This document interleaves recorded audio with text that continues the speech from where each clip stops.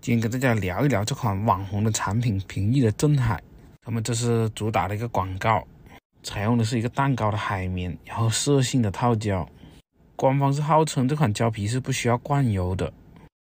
这款胶皮呢，我自己去打的话，我会选择去灌油，因为我之前是打过不灌油的，我觉得并不合适我去打。整个胶皮做的是比较稳，但是没有那么的通透。这款胶皮是一个中的硬度，然后我灌的是两遍油，重量在五十克左右。灌了油之后，整个胶皮打起来就明显的往前走了很多。整个手感打起来，虽然说采用的是飞龙的同款海绵，打起来的手感还是跟飞龙有些不一样的。飞龙的那款套胶打起来更偏向于这种得套的这种出厂灌油过之后的这种通透软弹的手感。然后这款平易的镇海呢，它打起来的手感更偏向于这种国产的粘套手感，打起来更加扎实一些。然后它的抓球摩擦感要比飞龙这种好一些，它的感觉偏向扎实，偏向狂飙一些。这款套胶相比狂飙更加的出球，整个套胶的一个摩擦性能还是做的比较优秀的。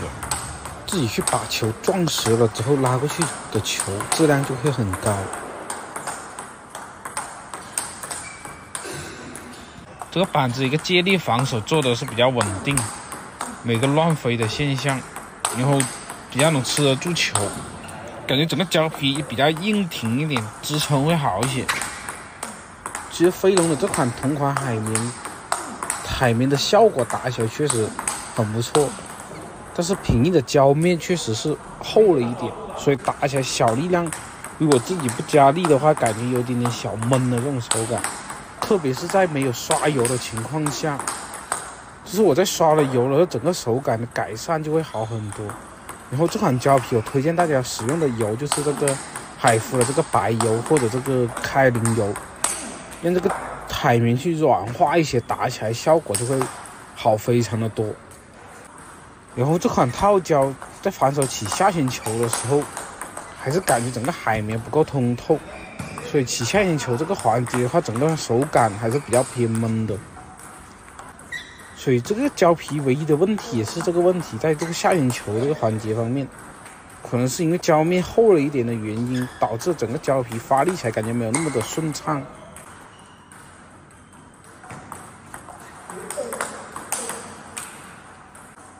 用起来更多的需要往前向前去发力，但是对比起来，它的一个价格九十八元的价格，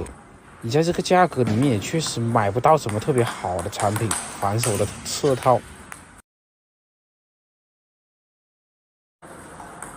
镇海这款套胶在小球控制环节做的确实很好，小球没有这种虚弹的情况，整个摆短的弧线也做的特别低。这款胶皮它主打的就是打这些两百元以下的这些反手套胶，它打起来整个性能你跟这些两百元的套胶也没有特别大的这种差别，但是考虑到它只用一半的价格就可以买到一块这种套胶，你如果说跟这些蝴蝶的低系列这种套胶去比的话，还是有些差距。你相比起来，九十八元这个价位里面确实也没有能跟它去相比较的产品。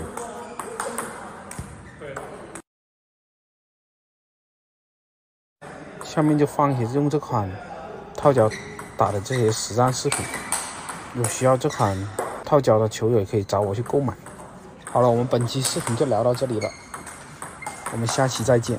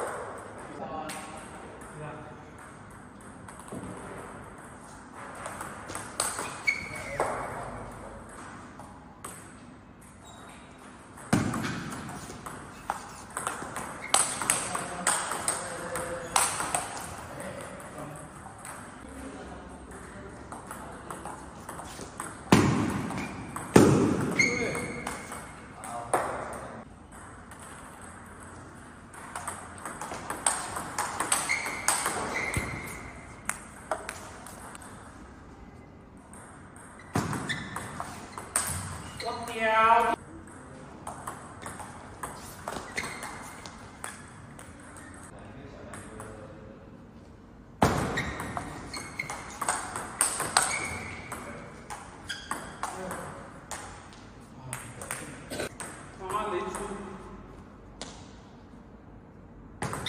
哦，哇，你好。